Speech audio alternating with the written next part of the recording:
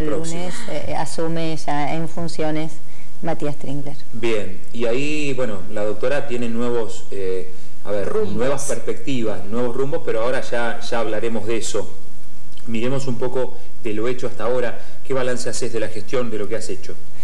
Bueno, más que agradecida con la oportunidad que me dieron, eh, tanto el intendente de volver a confiar en mí, eh, Gastón, todo el equipo de trabajo que hemos consolidado. La verdad que eh, yo he estado tres veces en la gestión municipal y, esta, etapa siento que hemos consolidado un verdadero equipo con todos los directores de todos los componentes del sistema integrado. De hecho, hemos tenido algunas actividades bien concretas de consolidación de este espacio, como el Comité de Docencia e Investigación del eh, sistema integrado, como eh, las residencias de los equipos de salud del sistema integrado, Hemos armado algunas políticas públicas consensuando todas las áreas, este, lo del programa nutricional o lo que tiene que ver con inmunizaciones o, bueno, todo lo de crónicas no transmisibles que no solo afecta a adultos o adultos mayores, sino que la obesidad es una epidemia en, los chicos y nos hemos sentado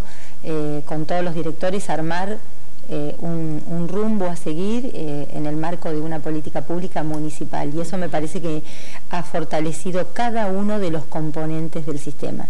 Quizás uno, eh, o naturalmente uno asocia salud a los hospitales y por eso, y también por la envergadura del tamaño de, recurso humano y de, mm, servicios, el Hospital Ramón Santa Marina siempre se llevó la, la mayor mirada y nosotros fue un desafío que cada uno eh, con, su eh, competencia específica, pero que podamos dar respuesta a todos los directores con todos los componentes. Entonces, eh, cuando se tomaba una decisión pensábamos más allá de ese director y, esos trabajadores, sino transversalmente de como sistema integrado de salud. Claro que creo que desde la creación justamente de ese sistema integrado de salud pública se le ha dado mucho más fuerza también, por lo menos públicamente, a lo que tiene que ver con centros de salud y, salitas de distintos barrios, ¿no? Que la gente antes, eh, muy pocos eh, tenían o conocimiento o accedían a él o simplemente se dirigían hacia el hospital, como decía. Se le dio como más fuerza para descentralizar. Totalmente. Bueno, ahí en la, perdón, ahí en la, eh, cuando fue directora de atención primaria, Sandra le dio ahí un, impulso muy, muy importante. Y una presencia también, digamos, tuviste antecesores que trabajaron muy bien, pero también vos le diste una impronta importante. Y sí, bueno, ahí yo seguí siempre teniendo mi corazoncito. Reconozco que, que no fue fácil eh, pasar de directora de salud comunitaria, que así hicimos la transformación, a, vicepresidenta y, siempre, bueno, este año articulamos muy bien con, con Miriam. Es muy complejo lo territorial, a veces uno dice, bueno, la complejidad está donde están los mayores aparatos y en realidad el territorio, los, barrios tienen muchísimas complejidades porque son muchos problemas juntos. Hay mucha necesidad, ¿no? Sí, y, mm, y es donde la gente vive y donde la gente sufre y quiere buscar respuestas en, su barrio con los equipos de salud que trabajan en cada uno de los barrios. Y muchas veces los profesionales de los barrios, por lo menos a mí me pasa haciendo notas en distintos lugares, que la gente va en busca de algo, por ahí tiene una cuestión, no sé, eh, busca un gastroenterólogo, pero termina siendo psicólogo de esa persona porque a su vez tiene otra cosa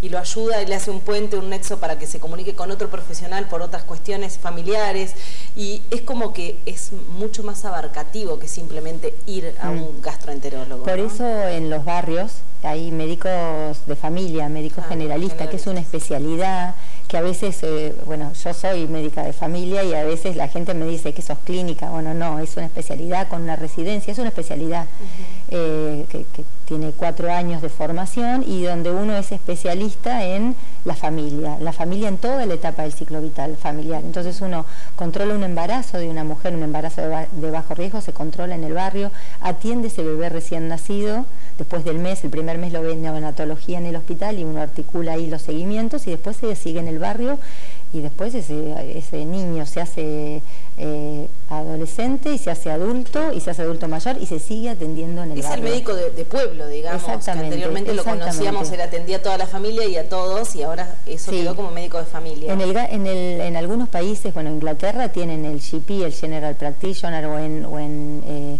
España el médico de familia, o en Cuba el médico de familia, eh, bueno, un montón de países desarrollados tienen, Brasil transformó bastante su política pública con la salud de la familia, con médicos de familia. Entonces, son, es un médico eh, preparado para la mayor complejidad que sucede en el barrio, eh, a mí no me gusta hablar de baja complejidad porque es esto que yo decía, a veces lo complejo no pasa por un aparato o una operación, sino por eh, eh, atender una situación de violencia, maltrato, con obesidad, diabetes y, un chiquito recién nacido con problemas respiratorios.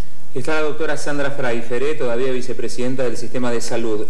bueno, ahora vamos a hablar de, de tus nuevos pasos, pero ¿Qué cosas crees que todavía falta hacer en el sistema de salud o qué cosas crees que bueno, quienes siguen en los cargos o quien te va a reemplazar van a tener que hacer, no solo desde la presidencia, sino desde la presidencia y de ahí para abajo, eh, todo lo que falta por hacer en el sistema de salud, que como siempre decimos y como siempre nos dicen, comparado con otras realidades eh, es maravilloso lo que tenemos, pero estando adentro sabemos que falta muchísimo. Sí, acuerdo con eso. Uno se compara en indicadores duros, mortalidad materna, mortalidad infantil y somos de los mejores de la provincia y del país, pero uno estando adentro quiere seguir mejorando. Creo que hay que profundizar y consolidar algunos, algunos cambios que están sucediendo. Eh, el SAME, que es algo nuevo de este año, hay que consolidarlo, hay que conseguir médicos. Eh, para todos los días de guardia. ¿Los fines de semana están saliendo médicos? Los fines de semana están saliendo médicos. Y ahora se incorporó una médica más, o sea, de, a poco eh, van, van llegando.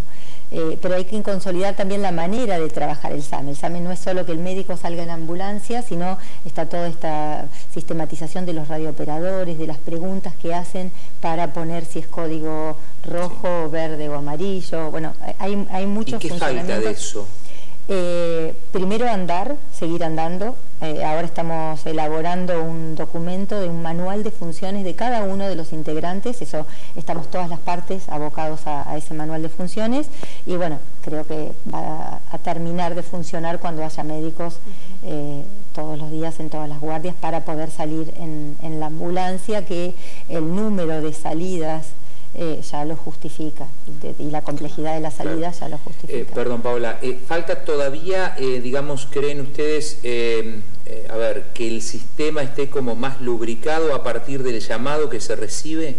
No, eso está, eso está bien aceitado porque ya había, eh, la, emergencia en Tandil también antes del SAME funcionaba muy bien sin médico, los enfermeros tienen una calidad impresionante, los choferes, los choferes tienen toda una capacitación y pueden atender también acompañados con el enfermero la primera, y, de hecho así ha sucedido en accidentes muy grandes, así que me parece que en eso está aceitado, pero bueno, la incorporación del médico y, y todo el resto de la logística que propone provincia, eso me parece que hay que hay que consolidarlo. Sandra, sabemos que, particularmente sos una persona muy comprometida con lo que haces, le pones mucho, mucha garra y, el cuerpo, y a veces te han em, molestado algunas situaciones que sucedieron, sobre todo con cuestiones que tienen que ver con accidentes de tránsito que llenan el hospital, pero se han dado eh, esporádicamente, no es que siempre suceda esto, por ejemplo, cuando no hay más camas, las críticas que has recibido eh, particularmente por eso, por las demandas del hospital.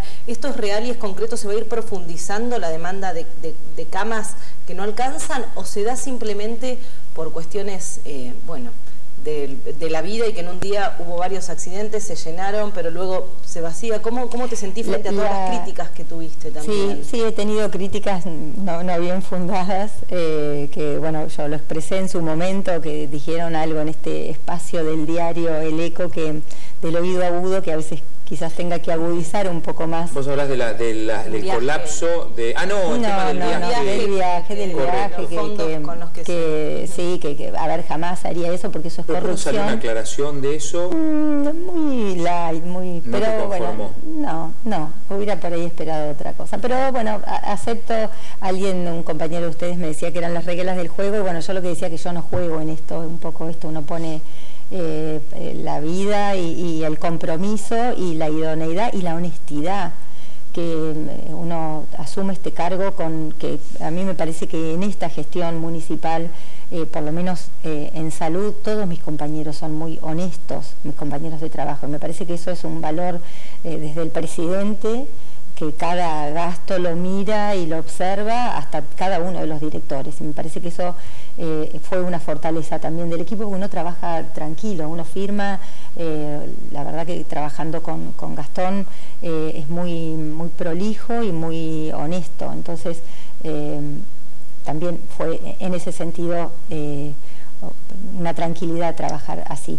Pero en esto que, más allá de que yo no viajé eh, haciendo uso de gastos públicos, eh, y bueno, hice ahí la aclaración en, el Face, lo que vos decís es que la Organización Mundial de la Salud dice que para cada cantidad o cierta cantidad de eh, habitantes tiene que haber cierta cantidad de camas en terapia. Y Tandil y el hospital dan respuesta según los números de la Organización Mundial de la Salud. Entonces, eh, que en algún momento colapse, sí, puede ser, pero estas camas son las camas de terapia intensiva para la ciudad de Tandil.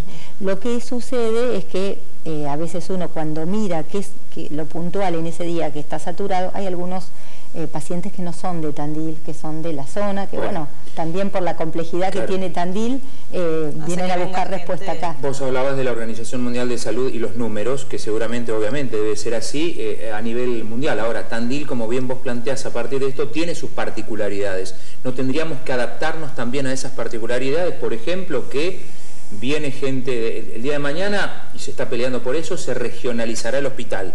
Pero mientras tanto, no, tendremos que adaptarnos también porque viene gente de afuera que obviamente no le vas a decir, no le podés negar una cama. Ahora va a venir uno de Tandil y, por ahí está colapsado el sistema.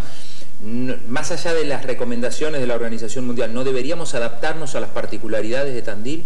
Sí, pero igualmente, o sea, el promedio de, de ocupación de cama en terapia es acorde a ese número de camas. O sea, no, no estaríamos... camas hay, Sandra? Hay siete camas. Siete camas. ¿Y cuál es el promedio de ocupación? Y eh, anual, porque hay, hay momentos en donde eh, todo, el, todo el verano, eh, porque hay muchísimos más accidentes, que bueno, es una de las líneas a seguir trabajando el tema verano, de los accidentes. invierno, otro problemas tipo de patologías que también, digamos, es como que casi siempre están ocupadas. Sí, pero digamos que mm, un 60% de las camas están ocupadas. ¿Promedio, anual? Promedio anual, de terapia, sí, 60, Yo tenía información que era mayor. No, están ocupadas eh, tres, cuatro camas casi siempre.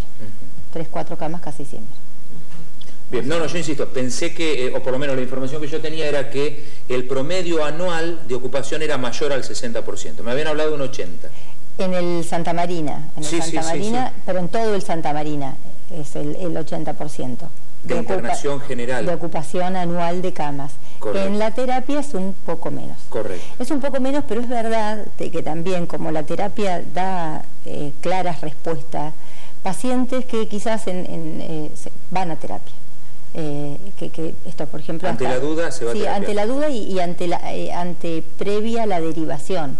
O sea, si está un, un paciente en terapia, en la guardia complicado y por ahí tiene una obra social, que lo correcto es la derivación, bueno, a veces sube. No, no es lo ¿A correcto. Veces perdón? A veces sube a terapia. A terapia.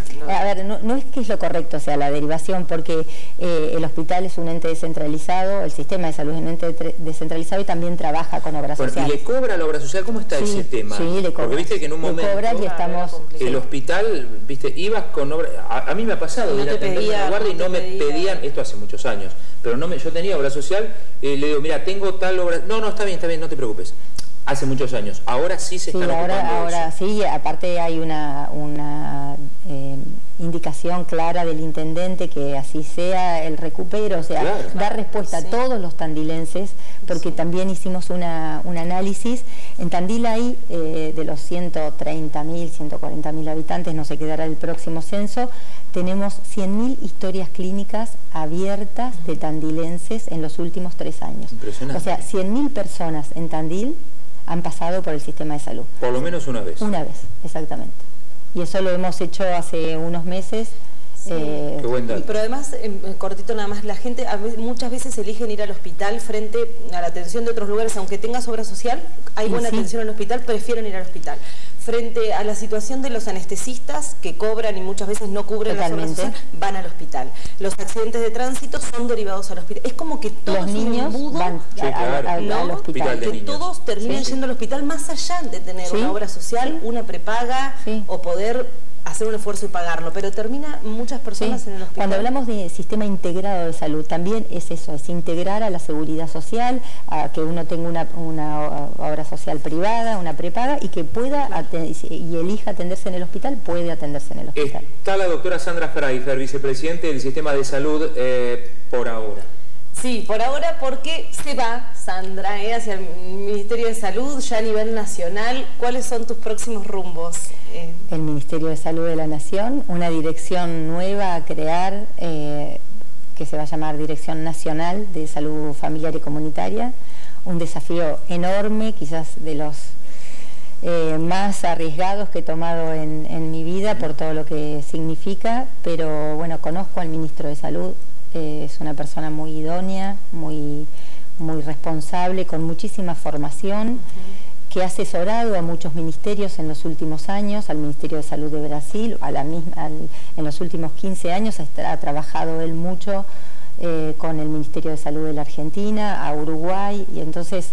Eh, mucha, experiencia. mucha experiencia en salud pública, es un sanitarista, no, no muchos, creo que el doctor Ginés ha sido otro con ese perfil, pero después eh, eh, han sido con diferentes eh, notas en sus gestiones, pero bueno, no con tanta idoneidad por lo menos al momento de asumir como, como Adolfo Rubinstein, como Dolphy, como le decimos cariñosamente nosotros. Es una incidencia, ¿no? Pero recién es lindo de destacar porque Sandra evaluó, lógicamente tiene una vida, tiene familia, tiene todo en Tandil, entonces... frente a las cosas negativas que muchas veces uno hace, dice, bueno, en este listado va a ir todo lo que a mí me perjudicaría. Y en este, lo que y en, el, en la parte que pesó más, y es la decisión esta que tomó, dice que es eh, las ganas, ¿no? Y el deseo que vos tenías. Y estaba eso, nada más. Sí, yo le contaba a Pablo, con la otra de contra, tres hojas escribía, tres hojas porque dejo mucho acá y dejo mucho laboral, afectivo, eh, una tranquilidad de vida que tiene Tandil versus las ganas. Todo el caos de, de Buenos Aires y las ganas de de un desafío, de algo para lo que me he formado la mayor parte de mi vida. Eh, y bueno, si alguien piensa que puedo ayudar a transformar realidades, que para eso estamos, me parece, los que nos dedicamos a salud pública. Así que tu dirección va al tema de la atención primaria a nivel nacional. ¿Qué, mm, qué desafío? ¿Por dónde se empieza a trabajar eso? Y nacional, o sea, hay que ir al norte a ¿Por dónde se la situación de... Primero, eh, conociendo eh, el recurso humano en, en el propio ministerio y después en cada una de las provincias. En un país federal uno puede armar una hermosa política pública, pero después para que se implemente hay que trabajar con las provincias y con los municipios. Así que trabajaremos con el municipio de Tandil. Eso está bueno. El no generar, como muchas veces se dice, eh, leyes o determinados dictados detrás de un escritorio, ¿no? Sin conocer las realidades, que es por ahí lo que termina afectando en todo, la respuesta después, porque uno cuando lo hace sin conocimiento hace que no, que no, funcione. Por eso también la idea de, tu cargo creo es, viajar todo el tiempo. Y sí, espero que todo el tiempo no, pero sí, sí. Sí, sí, porque bueno, yo soy de la creencia y, creo que también por eso eh, nos pusimos de acuerdo con, con eh, Rubinstein, eh, que el abordaje debe ser comunitario y territorial. Para dar respuestas en los barrios a la gente, en lo que sucede, bueno, los equipos de salud tienen que estar cerca de cerca e insertos en esas comunidades donde quieren dar respuesta. Bueno, y eso es un poco eh, la lógica del trabajo parecido a lo que fue el, o es el programa de salud familiar brasilero. Es un poco la idea. Sandra, ¿qué falta acá en Tandil? ¿Qué te quedó? Esos ítems, eh, que supongo serán muchos también, pero los principales que decís, bueno, si yo seguía en este rol que tengo ahora, mm, tenía para este próximo año estas cuatro cosas inmediatas, cinco para resolver bueno, volver a poner en funcionamiento la política pública de salud sexual y reproductiva, los consultorios de, consejerías, eh, no solo en el hospital, sino en los barrios, eh, obviamente en, el marco de la normativa vigente, pero eso, bueno, tuvo ahí una pausa y hay que no solo consolidarlo, sino fortalecerlo en cada uno de los barrios. Me parece que también eh, consolidar el modelo de, salud comunitaria y esto de la mano de salud mental comunitaria que se inició y eh, una, transición, eh, bueno, el, actual, actual no, dejó el 10, director Luciano Grasso estuvo como último trabajo en Trieste, que es un, lugar donde se cerraron los manicomios y toda la, política de salud mental tiene que ver con eh, el inserto, del, eh, la inserción del, usuario, del paciente con padecimientos mentales en la comunidad. Bueno, eso también me parece que hay que consolidarlo. Esto es un camino que ya viene desde la creación de la Dirección de Salud Mental, pero me parece que hay que seguir consolidándolo. Los equipos en los barrios, eh, quizás haya que nominalizar a la población y poner la población bajo responsabilidad de los equipos, o sea, que esa responsabilidad social que tenga ese equipo eh, con, ese, con esa comunidad, entonces que no se pueda ir al hospital a quejarse porque no lo atiendan o, al barrio de al lado porque no lo atienden, sino la responsabilidad tiene que ser de ese equipo de, trabajo. Eh, algunas respuestas eh, que, bueno, ahora hemos encontrado teóricamente las soluciones y que se están poniendo a prueba, como son las 200 eh, cirugías de, em, la, paroscópica. pendiente, que, ahora se suma otra médica full time, una cirujana full time para que se opere a la tarde, se amplió el horario Por de... las demoras de turno. Claro, se amplió el horario de cirugías a la tarde, se arregló con los anestesistas, con todos los equipos, bueno, ahí hay toda una logística que ya se puso en marcha, yo espero que en tres meses eh, las, no, haya más que cinco o seis, sí, sí, tal cual.